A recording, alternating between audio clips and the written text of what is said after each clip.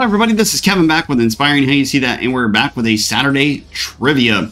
And we're going to be doing a one trivia question here, and we're going to be relating this to not only uh, TV shows, but music as well. So we wanted to ask you when The Office paid tribute to one of the most, or the 1990s best underground metal anthems. Who was that? Um, so that that's the question, and uh, what was the song that they, of course, were singing? And let us know in uh, the comments. And as always, make sure you do like and subscribe.